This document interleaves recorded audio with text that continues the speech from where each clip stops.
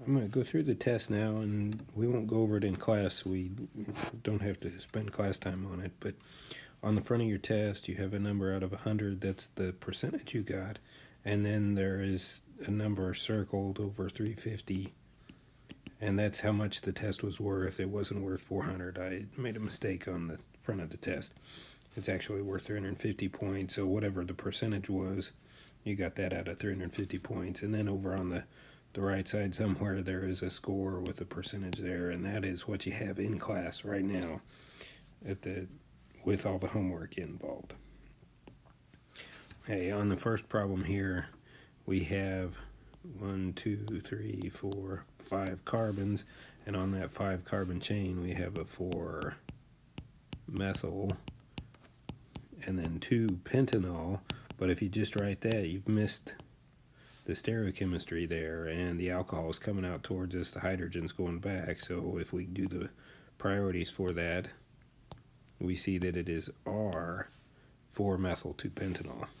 On the second one, if we number around from the alcohol 4, 5, 6, we see that it's 3, 5 dimethyl 1 cyclohexanol. And you can leave the one off if you want to and just write 3,5 dimethyl cyclohexanol because it's assumed to be the alcohol on carbon number one.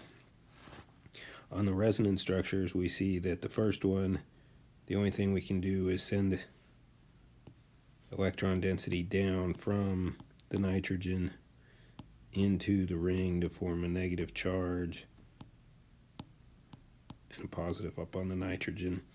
Now, I'm not sure if my arrowhead shows up there or not. There's a, a, a, utility box on the side of the screen here. But this is a negative, and that's a positive on the nitrogen. Then we continue along, form a double bond, break a double bond, with the nitrogen still being positive, negative on that bottom carbon of the ring, and then continue on with a negative on the carbon next to the nitrogen, positive thistle on the nitrogen, and then send it back out to the nitrogen. And we are done. And that's because we have that lone pair on the atom off of the ring. On the second one, we have a positive charge on the atom off of the ring, and all we can do is send the electrons from the ring out to the nitro which gives us a positive charge in the ring and another negative out on the nitro group. And then we can chase the positive charge around the ring with only drawing one arrow at a time.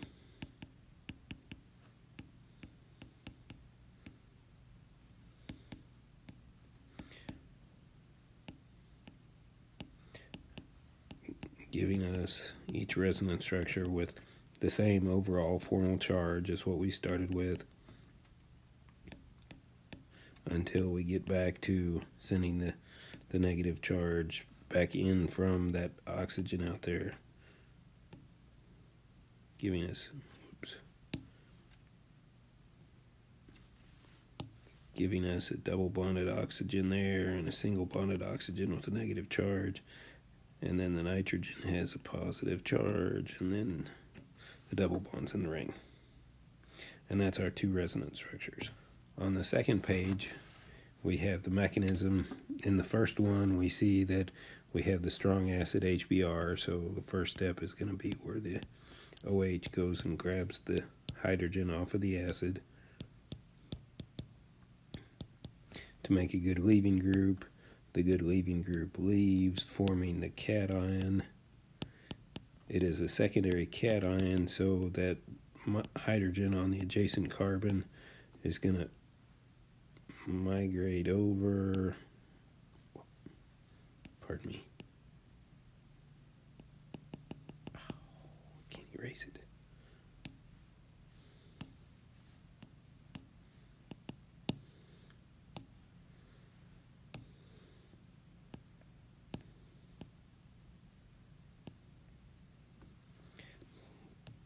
Give us tertiary cation, and then the bromide ion adds to that to give us our product.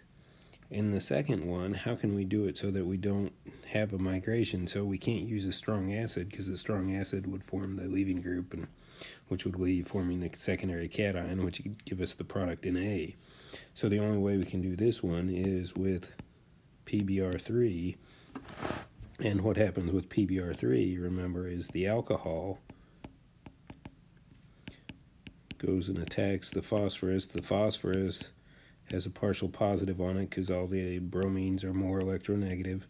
So we end up getting the oxygen, the hydrogen, a phosphorus, two bromines, positive charge on the oxygen, our methyl still there, and then the bromide ion.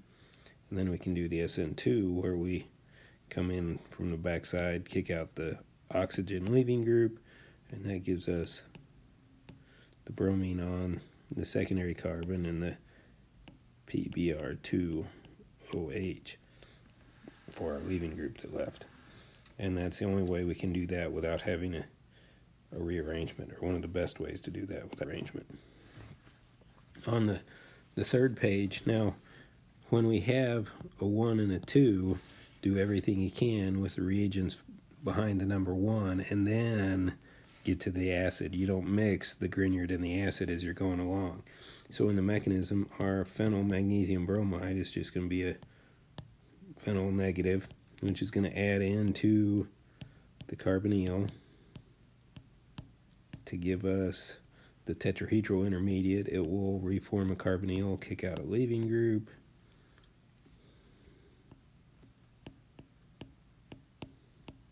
To give us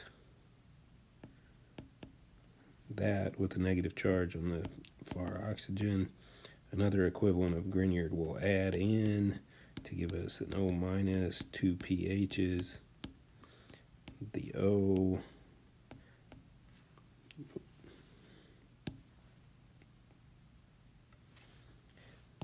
the O with a negative charge. And then we reform the carbonyl because again we have a good leaving group on it, which gives us the ketone along with the dialkoxide. Another equivalent of Grignard adds into the carbonyl, forming the alkoxide. We get the Ph O minus Ph Ph, and then that can go grab a hydrogen out of the solution when we work it up, and our oxide can go grab a hydrogen out of solution each step along the way to get us to the diprotonated one. And if you drew this both happening in one step, that was fine. And then that gets us to our product. Okay, when we look at this problem going from this, this alkane to the ether, we see that from an alkane the only thing we can do to an alkane is brominated. And to brominated, we use bromine and light, and we'll put a, a bromine on the ring itself. Then to that, we could eliminate it with T-butoxide to form the alkene. The alkene we could treat with acidic water or the mercury acetate and water, followed by sodium borohydride, and that would give us the alcohol, which we could oxidize with PCC or SWERN to the ketone, and the ketone we could add the Grignard methyl magnesium bromide, followed by acid, which would give us the tertiary alcohol. And then to that, we could add a strong base, NH2 minus, to remove the hydrogen, followed by step number two, methyl bromide or methyl iodide to do an SN2 on it. Now, there are a lot of different ways you can do this problem. This isn't the only one. if you want, we can do some in class showing some of the other ways.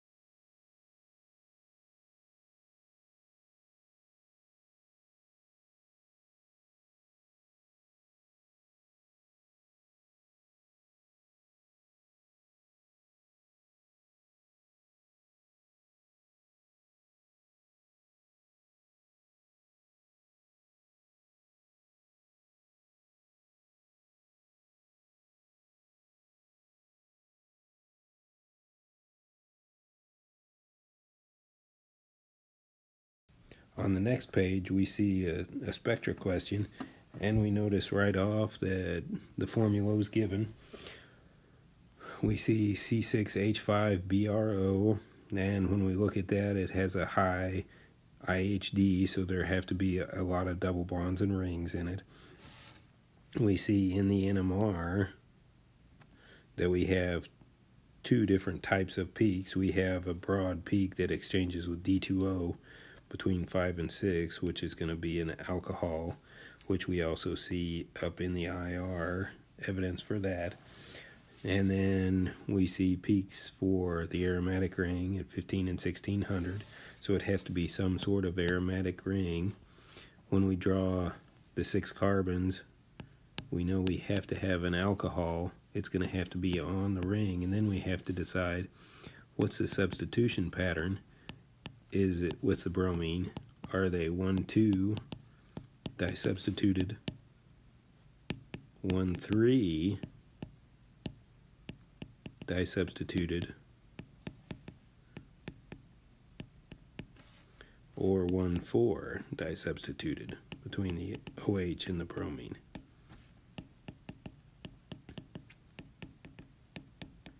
So these are the only three choices you can have for what's the answer to the problem. I'll go ahead and draw the bromine up here. So then we look at the splitting and the integration between 7 and 8. Those are the hydrogens on the aromatic ring. In the one 1,4 disubstituted, we see a plane of symmetry here where these two hydrogens will be equivalent and these two will be equivalent. So we'd only have two signals and they'd both be doublets. So this would be two doublets would be all we would see. And when we look at the NMR, we don't see two doublets, or only two doublets, so it can't be that one. So we can scratch the para substituted off.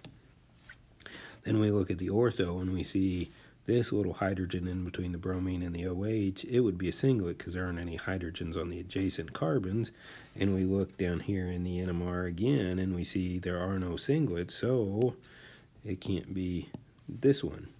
So the only one it can be is the ortho substituted, and we look and see this hydrogen is next to one hydrogen, so it would be a doublet. This hydrogen is next to one, it'd be a doublet. This one is in between two, it'd be a triplet, and this one is in between two, it'd be a triplet. So the answer has to be the one two disubstituted aromatic ring. Then there was a page of blank for working problems in your, on the test if you needed any blank paste. Then we get to the synthesis problem and we see a Grignard added to a ketone. So compound A has to be just a tertiary alcohol where the Grignard adds to the carbonyl carbon. We eliminate that tertiary alcohol and we're going to get the double bond inside the ring where it's most stable, most substituted. Then we see the peracid here leading us to compound C. Peracid gives us the epoxide, so compound C has to look like that. And I guess I really should have shown it with some stereochemistry. Can't erase it. I'll have to redraw it. So compound C really should have had this stereochemistry, though I was pretty lenient with how I did it. As long as you got an epoxide in there, I gave you credit for it. Then compound D, whatever epoxide you draw, is going to be the OH that way, and the methyl is going to add from the opposite side to give you the anti 1 2 or anti 2 methyl cyclohexanol. And then you eliminate it, and you're going to get the alkene just like we did before in compound B. In compound E, if we add HBr to the cyclohexene, we get the, the bromine added on there is no difference in the double bond, so we don't have to worry about which side gets the bromine, which side gets the hydrogen. Then we add magnesium to it, will form the Grignard cyclohexanone. If you weren't sure, was what you were given to start with. So the Grignard with cyclohexanone gives us compound F with an alcohol and then two cyclohexane rings coupled together with a carbon. And then we take that and treat it with sulfuric acid and heat, and we're going to eliminate in between the two aromatic rings and end up with that as our product. Now, on the next problem, we're going to have to go back and forth on this so I can write down what they are. But the first one was compound C and D to compare, and C was the alcohol, and D was the epoxide. The alcohol would have a peak around 3500 and the peaks down around 1100 for the CO single bond and the OH bond. And the epoxide would only have the CO stretches down around 1100. So that's how you tell those two apart. Now B and C B and C was the alkene and the epoxide. And how would you tell them apart? Well, the epoxide again is going to have the CO single bond around 1100. The alkene will have the peaks around uh, 1600 for the carbon carbon double bond. And that's how you tell those apart. And then A and F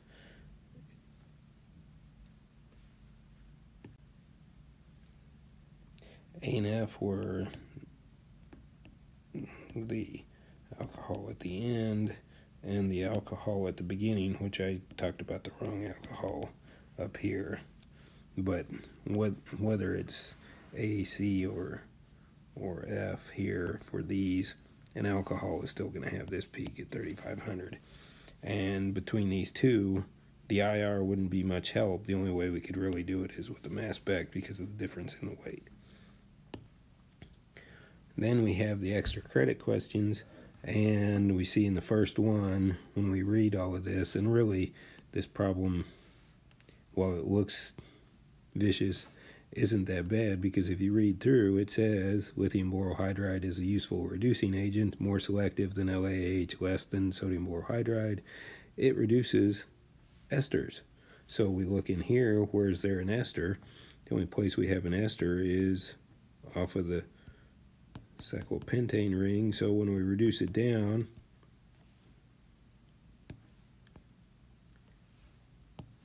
we're going to get a carbon with an OH off of it. So we reduce it down to that. We still have the OH here.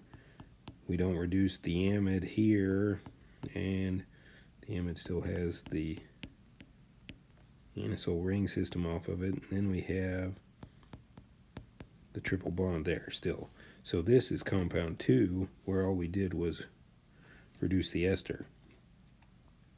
Compound 3 is where we have excess sodium hydride, which is going to deprotonate both of the alcohols, make the O minus. Then we add the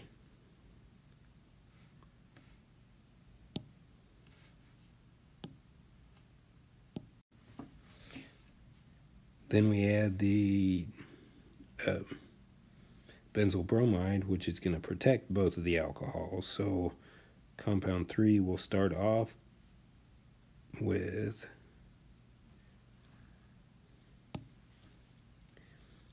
the same ring system as compound 2. We'll still have our aromatic ring with the paramethoxy. We'll have the group off of there. We'll have our CH2O benzyl. We'll have the O benzyl there. We'll still have our carbonyl. And then in compound or in reaction 3 we also have the reduction of the alkyne to the cis alkene so we're going to get that so compound 3 is just that where we protect the alcohol and reduce the alkyne to the alkene well page sorry and then the second extra credit question which has the tetrabutyl ammonium fluoride which I drew on the board. And remember, the fluoride ion is the only thing that does anything in this. And all it does is it cleaves the silicon off. So all of the rest of the molecule doesn't matter. All that matters is we cleave off the protecting group and form the alcohol here and the alcohol here. And we get the methyl and then we have all this other stuff, which drew it wrong, sorry. All this other stuff, which doesn't matter really. And really, you could have just drawn a big circle because all of this just takes time to draw and doesn't have any part of the reaction itself.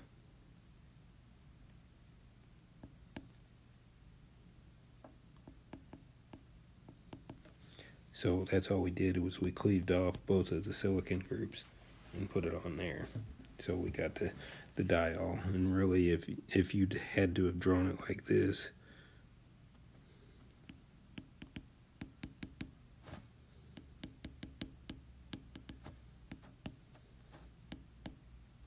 I would have counted that because all that mattered was this part right here. The rest of it didn't matter if you were had written in there about that.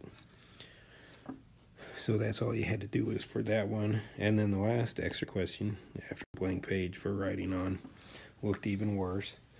But it had the same thing, the tetrabutyl ammonium fluoride. It had this silicon protecting group. So all you had to do was draw the structure for compound 3, which has that K ring system that looks like this with the CH2OH after we treat it with tetrabutyl ammonium fluoride. It has our oxygen with the benzyl protecting group. It has the methyl. It has the OH. It has an H here, and it has the allyl group there. So that's what compound 3 is. Compound 4 is all of that where all we do is protect the alcohol with the tosyl chloride.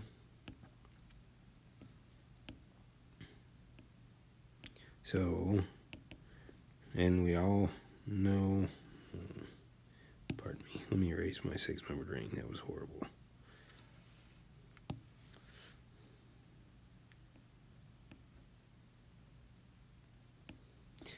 we all know that we just formed the tosylate. We still have our oxygen ether here. We have our hydrogen, the allyl group. We have OH here. The methyl still going back. Our benzyl protecting group here. And then we treat this here is kind of messy. We treat this with methoxy or methoxide, in compound 4 gets turned into compound 5 where we form a bond between the oxygen number 1 here and the carbon number 2 here and so all we do is the methoxide is going to remove a hydrogen off of the alcohol to form the O minus. It's going to give us